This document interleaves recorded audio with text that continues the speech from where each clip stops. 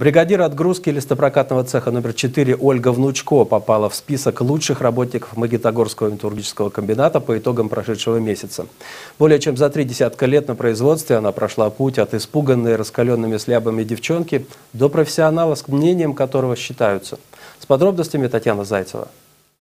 Сегодня Ольга Внучко – уверенная в себе женщина-бригадир, настоящий профессионал своего дела. С улыбкой она рассказывает о первых впечатлениях от металлургического гиганта. 35 лет назад экскурсию по производству ей организовал отец. Пришли в обжимной цех, вспоминает Ольга, а там нужно было перейти по мостику, под которым бежит ральганг с раскаленными слитками. Отец перешел, а Ольга побоялась. Горячо. Кричит отцу, сейчас они закончатся и пойду. А отец смеется. Долго, мол, будешь ждать, они никогда не закончатся. Вскоре девушка устроилась в обжимной цех штабелировщиком металла. Быстро привыкла и к ральгангам, и к без конца снующим кранам, и к шуму производства. Дисциплинированная и сметливая, впоследствии Ольга стала бригадиром отгрузки, а затем 15 лет работала мастером. В 2004 году, когда обжимной цех закрылся, перевелась в четвертый листопрокатный, также бригадиром отгрузки. Без отрыва от производства получила образование инженера-технолога. На наш вопрос, сложно ли было привыкать к цеху другого профиля, женщина говорит.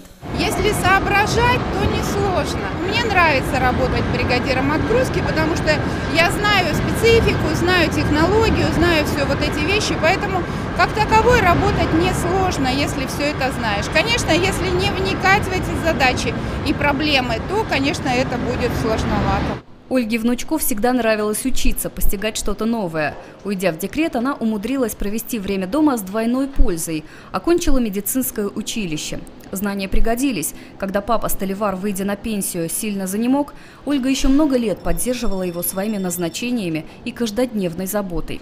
Своих родителей-пенсионеров, когда были живы, она навещала каждый день. Ответственная по отношению к родным, Ольга с таким же чувством относится и к работе. Большая, когда отгрузка, очень сложно работать. Были кризисы, когда мы действительно стояли, ничего не делали. Ну а сейчас э, стабильная работа, стабильная отгрузка, поэтому работать очень интересно. Коллектив у нас отличный, делится Ольга, поэтому и трудиться в удовольствие. В рабочих перерывах к ней часто обращается за советом, спрашивает мнение, не обязательно касаемое производства. Сама она старается видеть в людях только хорошее. Возможно, поэтому и люди к ней тянутся. Ну, я думаю, что меня любят. Вот все меня, кто помнит еще по обжимному цеху, по крайней мере до сих пор, если кого-то встречаю, видно, что рады видеть. А это один из признаков, что люди как-то относятся с душой и любят. Татьяна Зайцева, Олег Карпенко, телекомпания ТВИН.